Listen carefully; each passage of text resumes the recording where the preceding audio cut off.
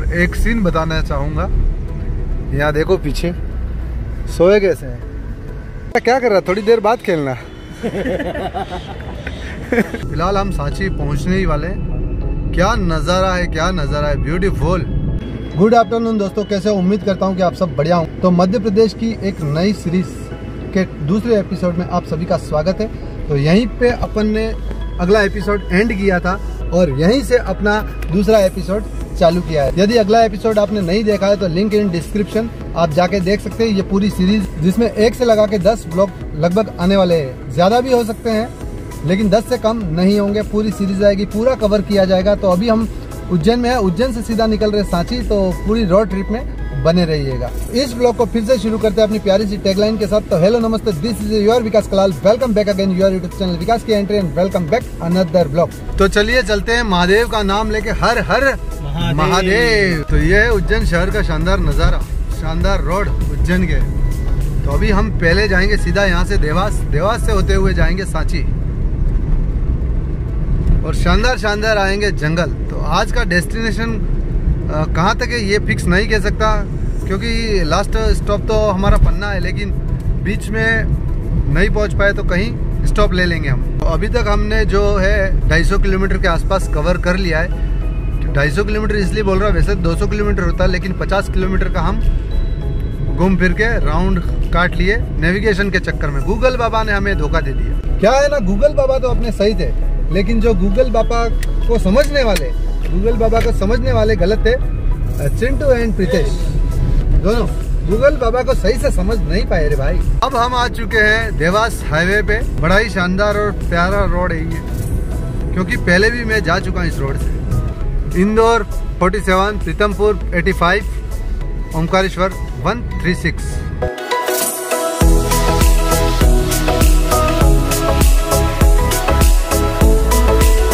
तो अभी कार्य प्रगति पथ पर है उज्जैन देवास हाईवे। जो है, उसका काम चल रहा है सिक्स लेन। या फोर लेन का काम। कार्य पूरा प्रोसेस में है। इसलिए गाड़ी आराम से चलाई जा रही है। ट्रैफ़िक पूरा एक ही रोड पे डाइवर्ट है। अभी दिन है। दिन में बहुत अच्छे अच्छे नज़ारे हैं और नज़ारों को छोड़ के भाई अपना सो, सो चुका है। ये सिर्फ़ सोने के लिए आया है। सोने के लिए घूमने के लिए नहीं।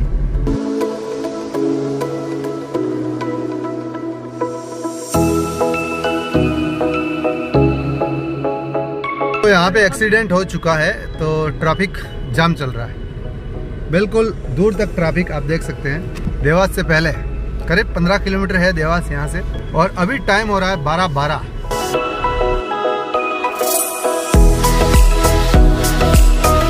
अभी देवास पहुँच चुके हैं, लेकिन हम बाईपास से निकल रहे हैं, और बाईपास जो है हाईवे इतना शानदार और ब्यूटीफुल है। मज़ा आ रहा है गाड़ी चलाने में।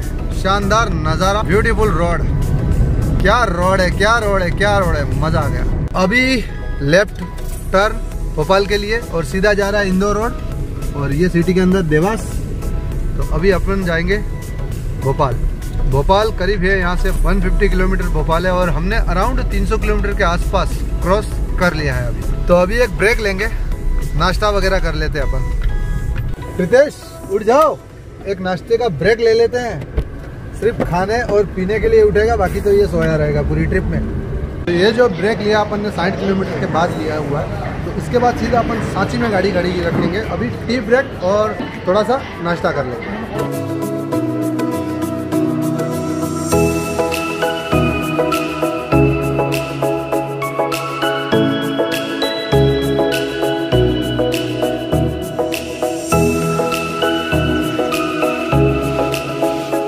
तो चलिए अब चाय नाश्ता हो चुका है सीट बेल्ट वगैरह अपन ने लगा लिया। अब सीधी गाड़ी रुकेगी सांची में, बीच में कहीं भी ब्रेक नहीं लिया जाएगा। फिर सोचते हैं सांची के बाद कहाँ जाना है तो चले।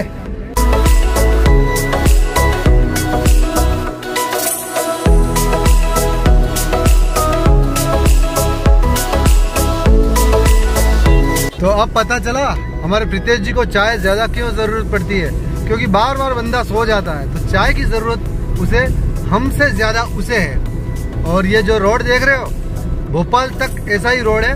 मतलब बीच में डिवाइडर देखो, कितना बड़ा डिवाइडर है। डिवाइडर तो नहीं कहेंगे, लेकिन इन दोनों रोडों के बीच जो जगह है, वो बहुत ज़्यादा है। एक आराम से एक और हाईवे बन जाएगा।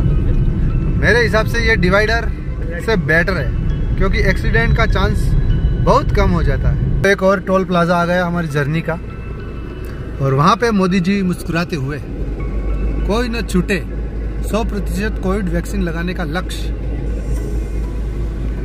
तो बड़ा ही प्यारा सीन तो अभी टोल जो कटा है वो है लगा है सिक्सटी थ्री रुपीज़ ऑन ले भाई साहब, ये रोड है ना, रोड। पैसा वसूल रोड है। टोल लगा उसकी कोई परवाह नहीं, लेकिन जो रोड है, मक्खन मक्खन। राइड करने में बड़ा ही मज़ा आ रहा है। बीच में डिवाइडर का सीन जो है ना, वो बड़ा ही प्यारा लग रहा है। एकदम जंगल माफिक।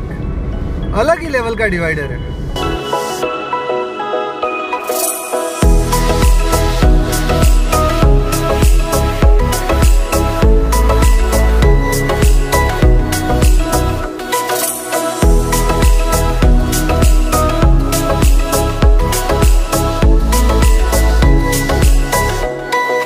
अभी नाश्ता करने के बाद हमने अराउंड 72 किलोमीटर क्रॉस कर लिया है। अभी भी भोपाल, यहाँ से दूर और उससे दूर सांची।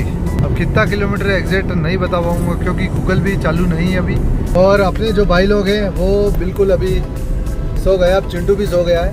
रितेश जग रहा है। पता नहीं उसको शायद बुरा लग गया हो कि ये चाय ज़्यादा पीता है। तो उस बात को लेके अब वो सोया नहीं है। तो ये अच्छी बात है। तो अभी भी साची है 130 किलोमीटर।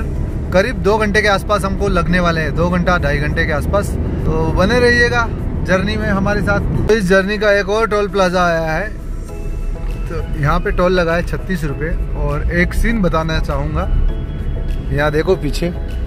सोए कैसे हैं? एक दूसरे के ऊपर। मतलब इतनी गहरी नींद आ गई इनको।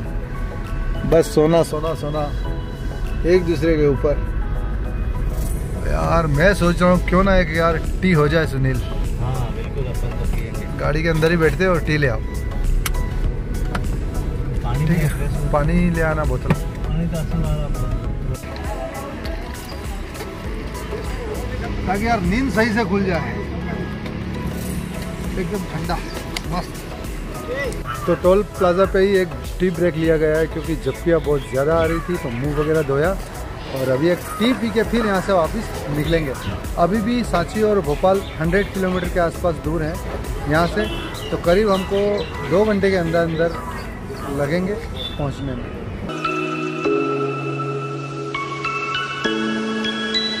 तो हमारे टी लवर सब बैठ चुके हैं और मस्त लोकेशन है।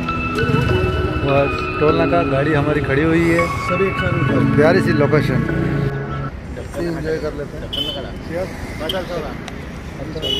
Cheers.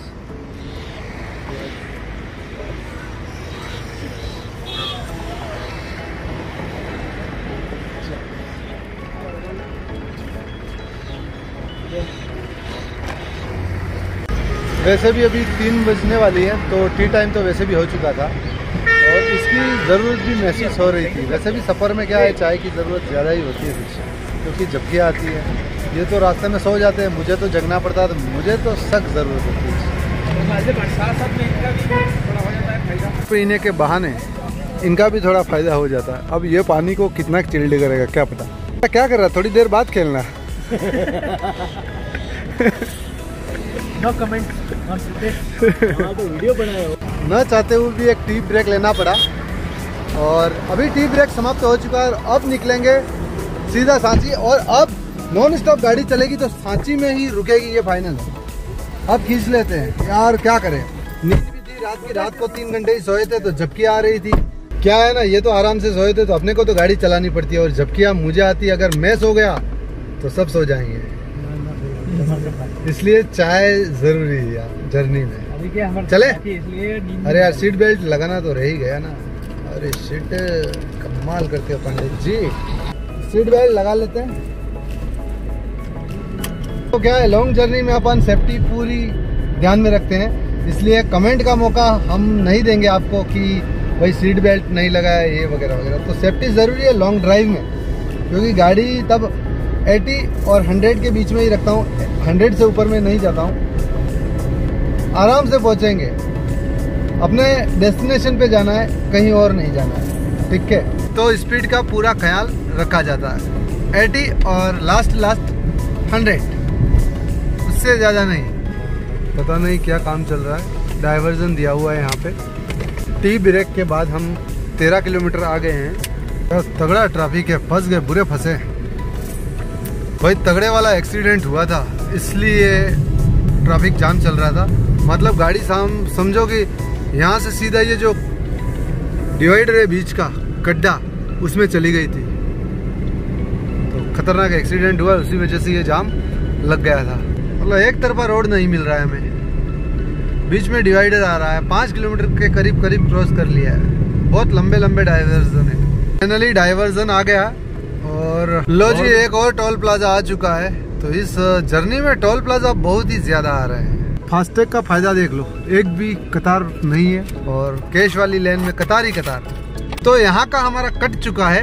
कटा है वो है ट्वेंटी नाइन रुपीज़ मतलब टोल की बात कर रहा हूँ मैं। ये जो जर्नी है, उसका अपने को टोल पड़ रहा है प्रति किलोमीटर एक रुपया। तो ऊपर नहीं, एक रुपया तो आप मान के चलो, कहीं भी जर्नी पे जाते हो तो एक रुपया टोल का अलग से गिनी लो, प्रति किलोमीटर। फिर गाड़ी तो आपकी कैसे माइलेज देती है, उस पर डिपेंड करता है। अपनी गाड़ी ये माइलेज देगी 20 के आसपास 20 के पर लीटर तो आ गया है ये हाईवे छोड़ने का टाइम तो इस हाईवे को अब अलविदा कहते हैं और लेफ़्ट टर्न शायद हो सकता है आज का डेस्टिनेशन विदिशा रहेगा 94 किलोमीटर. नाइट होल्ड विदिशा में कर सकते हैं हम. एक और एक्सीडेंट हुआ है यहाँ पे। तो अभी तक हमने दो एक्सीडेंट देख लिए हैं। यह गाड़ी सेफली चलाई है आराम से चलाई है इसीलिए मैं आराम से चला रहा हूँ सौ के ऊपर नहीं जाने दे रहा हूँ। वैसे भी हमारे बागड़ी में कहावत है दीवारी है।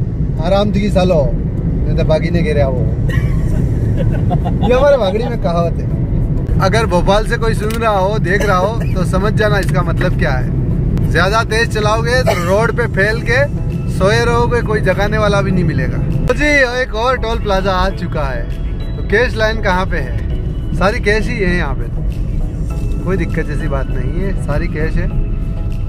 तो आज तो इतना टोल आ रहा है इतना टोल आ रहा है टोल भर भर के। बाकी रो, बाकी रोड अच्छा है रोड अच्छे कुछ भी कहो टोल का टेंशन नहीं है रोड अच्छे है। हमारा यहाँ पे फिर से एक बार कट चुका है टोल। तो तीस रुपए टोल लगे हैं। मतलब वही एवरेज बैठ रहा है वन रुपीज़ पर किलोमीटर ये रोड छोड़ने की बारी आ गई मतलब इस हाईवे को भी अब अलविदा कहते हैं। अब लेंगे साची रोड। साची विदिशा लेफ़्ट टर्न जबलपुर सागर, झांसी, सांची और सागर. प्यारा सा जंगल और प्यारा सा घाट सेक्शन आया है। तो फ़िलहाल हम सांची पहुँचने ही वाले हैं। क्या नज़ारा है, क्या नज़ारा है? ब्यूटीफुल सामने पहाड़, जंगल और राउंड बाय राउंड रोड क्या नज़ारा है? अच्छा।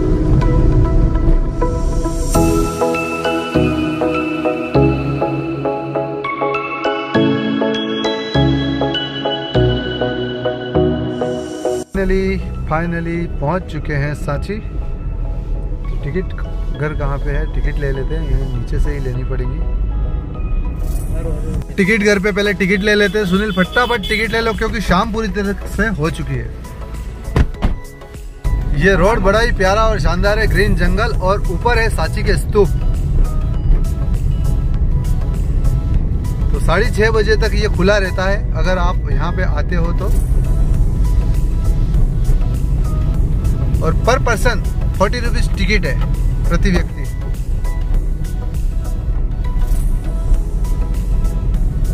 तो फाइनली सांची पहुँच चुके हैं और शाम की छः बज गई है और अभी इस व्लॉग को अपन यहीं पे समाप्त करेंगे क्योंकि व्लॉग ज़्यादा लंबा हो जाएगा। तो इस शानदार सी रोड ट्रिप को देखने के लिए बहुत बहुत थैंक्स और वीडियो पसंद आए तो लाइक करना, दोस्तों में शेयर करना और चैनल पर नए हैं तो चैनल को सब्सक्राइब करना। अपन मिलते हैं अगले पार्ट में। मतलब अपनी अगली वीडियो में यहीं से उस ब्लॉग की शुरुआत करेंगे। तो बस आज की वीडियो में इतना ही। मिलता हूँ अपने अगले पार्ट में। तब तक के लिए बाय बाय जय हिंद, जय श्री राम। बूम